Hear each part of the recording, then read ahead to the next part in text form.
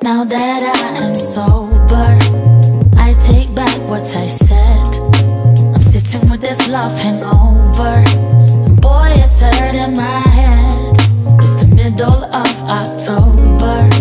And we just came to an end. I'm just sorry that there ain't no time left. You've been on my mind for a while now. Trying to get you off, cause this ain't right now. Said it was a vibe for the time being. It was nothing more, but I just couldn't see it. This is not a song for the whole world. Felt like it could have been us against the whole world. Maybe you were mine and I was your girl. Whatever happened to the time that we spent sober?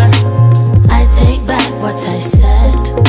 I'm sitting with this love hangover.